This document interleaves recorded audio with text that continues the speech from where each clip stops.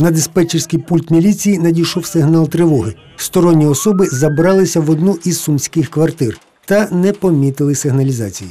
Прибыв по указанному адресу, мы увидели, что открыто окно, из которого выпрыгнул неизвестный и попытался скрыться, но был сразу нами задержан на месте. В 17.50 мне позвонили по мобильному телефону и сказали, что у меня сработала сигнализация э, проникновения в квартиру.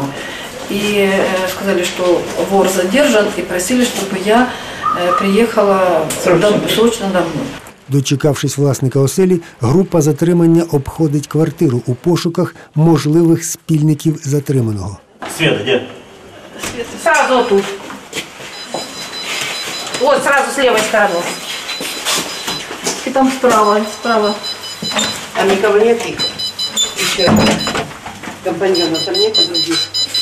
Окрім безладу, що залишив зловмисник у пошуках прикрас, в помешканні більше нікого немає. Правоохоронцям чоловік називався стоматологом з Грузії. Мовляв, до Сум приїхав з туристичною метою. На вулиці було холодно і дощило, тож вирішив погрітися у порожній оселі. Міліція відкрила кримінальне провадження за фактом крадіжки. На туриста чекає путівка до колонії на строк до 6 років. За матеріалами сектору зв'язків з громадськістю УМС України Сумській області АТВ.